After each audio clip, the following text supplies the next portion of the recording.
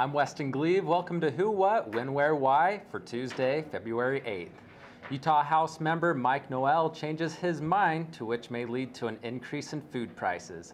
The tax raise could help bring in over $147 million a year, and for those who cannot afford the tax raise, alternatives such as food stamps are in place. The Provo Airport is using new radar technology, keeping pilots safer, along with scheduling more flights.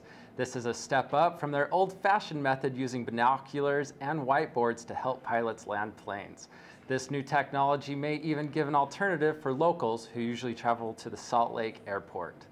And teenagers could be penalized if caught using a cell phone while driving. If the new bill passes, they will be charged $50, whether it be a handheld or hands-free cell phone, but it will not go on their driving records. This has been Who, What, When, Where, Why, a production of 11 News. Join us weekdays at 12 on KBYU Channel 11 or anytime on our website, 11news.byu.edu. I'm Weston Glebe. Have a great day.